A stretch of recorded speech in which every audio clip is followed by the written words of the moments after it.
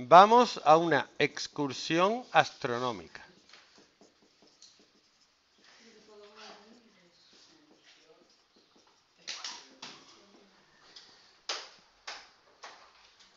Y hacemos bocadillos. ¿De qué?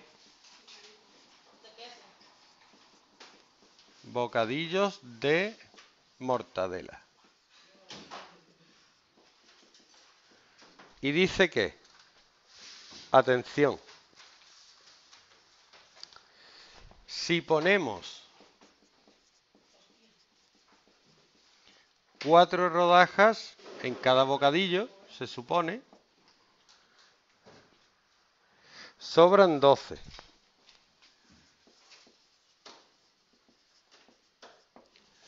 Y si ponemos 5 rodajas,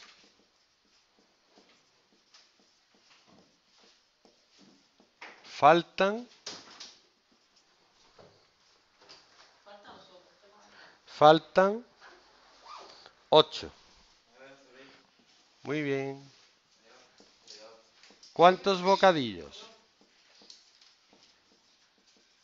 ¿Cuántos bocadillos vamos a hacer?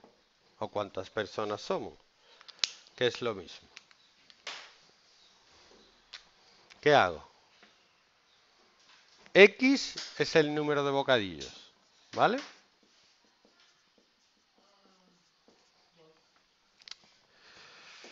Entonces, lo que me está diciendo es que tengo que hacer una ecuación o dos expresiones algebraicas que van a ser, por un lado, el número de rodajas y por el otro lado también van a ser el número de rodajas. Pero en uno es si pongo 4 y si pongo 5. A ver, si pongo 4, ¿cuántas rodajas tengo? Pues tengo 4x rodajas, porque cada rodaja, cada bocadillo tiene 4 rodajas, más 12.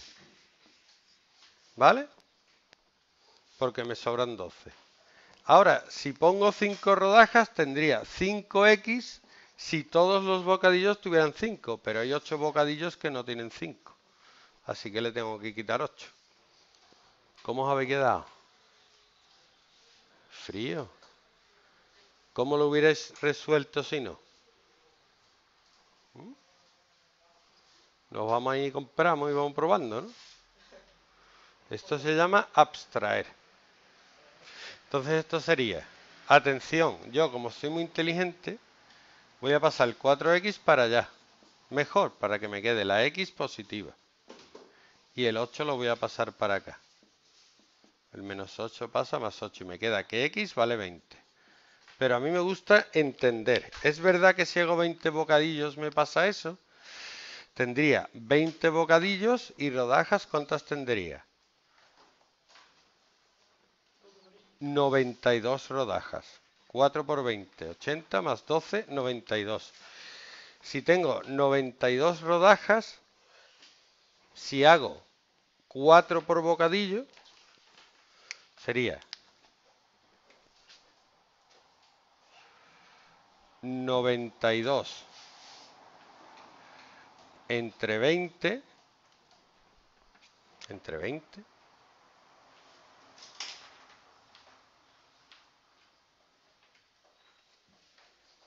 cabe a 4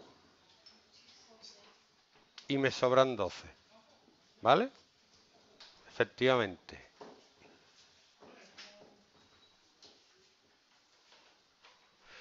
Ahora, si divido 92 entre 5, no llego.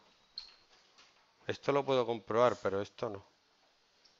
Bueno, puedo comprobar que si quiero meter 5 rodajas, 5 por 20 es 100, y efectivamente me faltan 8 porque tengo 92. ¡Toma!